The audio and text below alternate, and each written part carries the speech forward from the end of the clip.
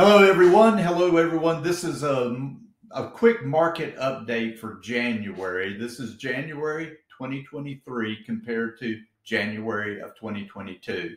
And just so you can kind of get a feel for where we are and maybe where we're going. So this year, and this I'm looking at Richland, Lexington, Kershaw counties, residential properties which includes single family, condo, townhouses, patio homes, uh, but specifically that.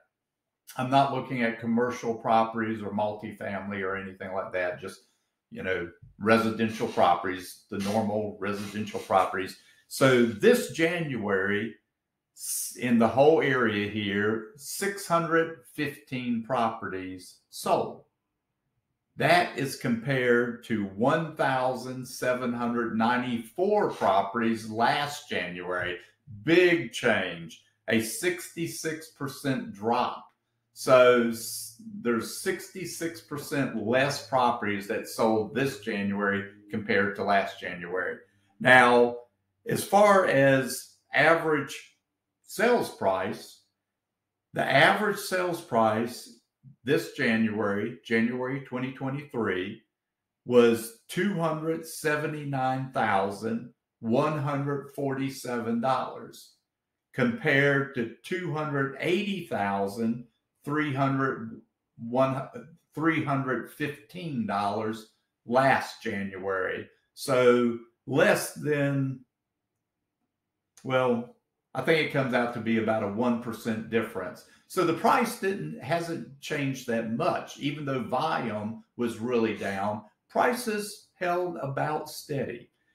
Now, uh, as far as active properties on the market, January of 2023, there were 2,660 active properties on the market.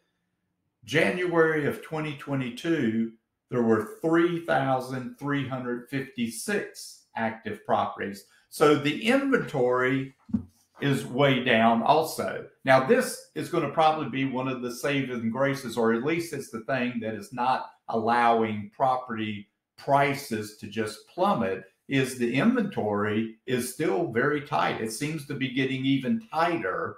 And uh, so that by itself, supply and demand is going to tend to keep prices up. Now, a couple of other things that we've noticed is in January, uh, compared to December, mortgage applications are up about 25%.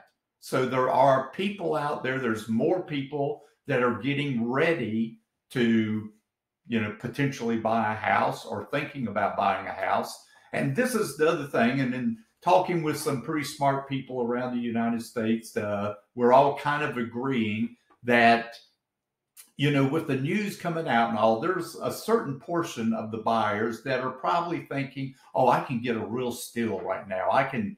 I can get this house for 20% less than I could have last year or something. But what's happening is as they're going through the process, I think more and more buyers are realizing that they can't.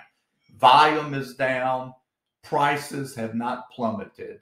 As I said in a uh, video I did just about a week ago, the big economists around, there's differing opinions, but the worst opinion was it's going to recede 10%.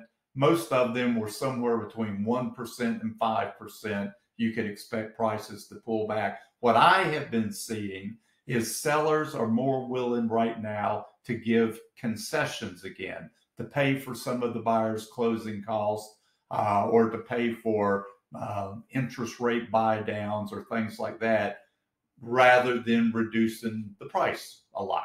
So, anyway, this is just hopefully it gives you a little bit of a feel. We're moving forward, volume is down. Prices so far have not pulled back much with inventory being so tight.